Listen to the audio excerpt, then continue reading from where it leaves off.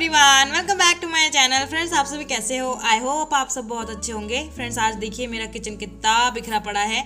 आज एक्चुअली मेरी तबीयत थोड़ी सी ठीक नहीं लग रही थी तो मैंने ऐसे ही सारा छोड़ दिया और दोपहर में बच्चे आ गए और आके उनको खाना वाना खिला के उसके बाद बस मैं ना उन लोगों के साथ ही थोड़ा सा लेट गई थी।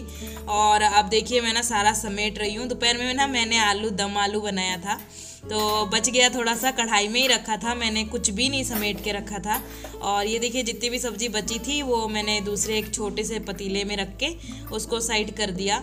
और अब मैं ना सारा समेटूँगी, और अभी पता है मेरा, मैं क्या घर पे थोड़ा बहुत पार्लर का भी काम करती हूँ तो एक है मेरी मतलब कि शुभ चिंतक जो मेरे पास ही आती है हमेशा और वो आने वाली है, उसने कॉल किया था। तो मैंने सोचा कि जल्दी से उठती हूँ, किचन विचन समेटती हूँ, फिर कोई आता है ऐसे ही थोड़ा सा भी झाँक के भी देख लेता है किचन में और इतना बिखरा पड़ा रहता है ना तो फिर अच्छा नहीं लगता। तो मैंने सोचा कि चलो जल्दी जल्दी उठती हूँ, सारा समेटती हूँ और इधर ऐसे ही काम करते करते ना वो आ भी गई। और ये देखिए, मैं उसकी आईब्रो बना रही हूँ। वो हमेशा मेरे पास ही आती है आईब्रो पर लिप्स कराने के लिए आई है अभी।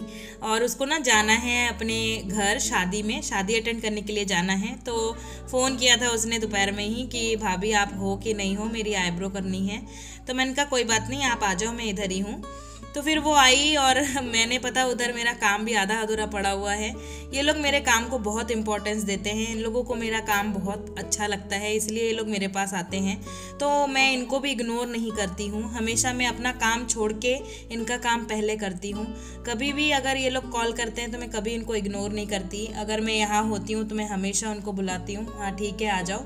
आ, मैं अपना काम छोड़ के आपका काम कर दूँगी कोई इशू नहीं है। और इसीलिए ये लोग मुझे इतनी इम्पोर्टेंस देते हैं और मेरे पास ही आते हैं। और वो चली गई, आईब्रो वगैरह बनवा दिया मैंने उसका। और ये देखिए, मैं फिर से किचन में आ गई। किचन का काम मेरा पूरी तरीके से समेटा हुआ नहीं था। थोड़े बहुत बर्तन पड़े हुए थे और बाकी तो मैंने पूरा समेट दिया है। बस बर्तन थोड़े बहुत पड़े थे तो मैं उनको भी अब समेट देती हूँ पूरा। और उधर रायमा भी सो रही है और शौबिक देखिए उठ गया है, वो टीवी देख रहा है। तो क्या खाएगा मैं पूछ लेती हूँ थोड़ा। बेटू, क्या खाना है रात में? दलिया। दलिया। दलिया? मीठा दलिया? दूध दलिया? हाँ? ठीक है चलो। और इधर रायमा देखिए मेरी अभी भी सो रही है। उसको जगाती हूँ। देखिए हिलना डुलना चालू है उसका।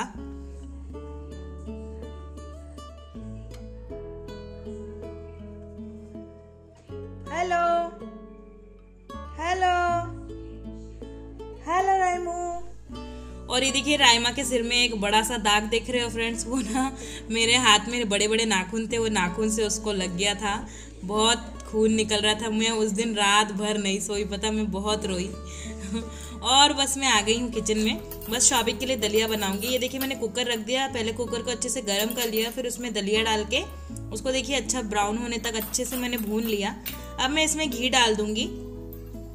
घी डाल के और इसको थोड़ा सा अच्छे से और हल्का सा भून लूँगी और फिर इसमें पानी डाल दूँगी। पानी डालने के बाद बस मैंने इसमें थोड़ा सा नमक डाल दिया। इससे टेस्ट बहुत अच्छा आता है। अभी मैं इसमें गुड़ या शक्कर कुछ भी नहीं डालूँगी और बस इसको लीड लगा के अच्छे से पाँच छः सीटी आने तक पकने दूँगी। बहुत अच्छे से दलिया जो है एकदम गल जाना चाहिए। तब तक मैं इसको पकाऊँगी। दलिया बनाते बनाते मुझे थोड़ा सा भेल खाने का मन कर गया तो मैं देखिए लाई भून रही हूँ। लाई के थोड़ा सा नरम हो गया है तो मैं उसको हल्का सा गरम कढ़ाई में ऐसे ही उलट पलट के सेक लूँगी तो फिर वो कुरकुरी हो जाएगी। लाई फ्राई करते करते मेरी रायमा आ गई। रायमा आके बोलने लग गई, मम्मा, मुझे फिंगर्स खाने हैं। तो फिर मैं उसके लिए फिंगर्स तलने लग गई। दोनों बच्चों को दे दूँगी, वो लोग भी खा लेंगे, थोड़ा बहुत टाइम उन लोगों का भी पास हो जाएगा। और ये देखिए, मैं लाई का भेल बनाने लगी हूँ। इसमें बस मैं ज़्यादा कुछ नहीं डालूँगी। प्याज कट करके डाल दिया बारीक बारीक और इसमें थोड़ा सा नमकीन डालूँगी और बस काला नमक चुटकी भर डालूँगी टेस्ट के लिए। और इसमें मैं डालूँगी ना सांभर मसाला। इससे बहुत अच्छा टेस्ट आता है। सांभर मसाला डालने के बाद मैं इसमें हल्का सा मस्टर्ड ऑयल ऐड करूँगी और इसको बहुत अच्छे से मिक्स कर लूँगी। और ये देखिए, मेरा भेल भी तैयार हो गया है।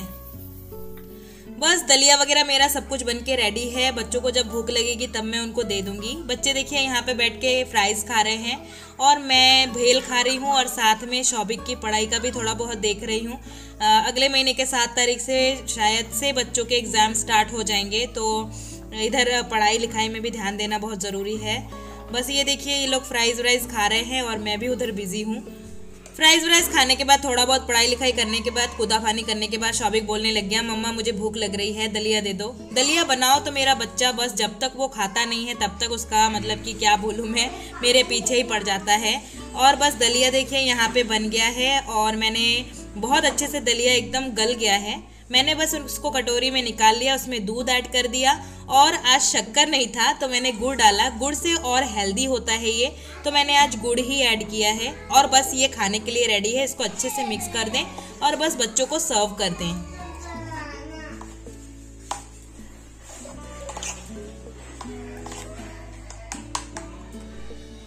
और ये देखिए फ्रेंड्स मेरा शॉबिक दलिया खा रहा है। उसको बहुत पसंद है दलिया। वो शाम को कुछ भी अगर मैं उससे पूछूँ कि बेटा क्या चाहिए, फरमाइश क्या है तो वो यही बोलता है, मम्मा, मुझे दलिया खाना है। और दलिया हेल्दी भी होता है, इसलिए मैं हमेशा अगर वो बोलता है दलिया के लिए तो मैं हमेशा दलिया उसको बना के देती हूँ। और यहाँ रायमा को देखिए, रायमा स्टैचू की तरह खड़ी है, उसको मुझे खिलाना पड़ेगा तभी वो खाएगी। और फ्रेंड्स, आज का मेरा ब्लॉग यहीं तक का है। आपको मेरा आज का ब्लॉग कैसा लगा ज़रूर बताइएगा। पसंद आए तो लाइक, शेयर और कमेंट कीजिएगा। और जो नए फ्रेंड्स मेरे ब्लॉग को देखते हैं, अगर मेरे चैनल को सब्सक्राइब नहीं किया है तो प्लीज़ मेरे चैनल को सब्सक्राइब कीजिएगा। मिलते हैं अगले ब्लॉग में। Bye bye.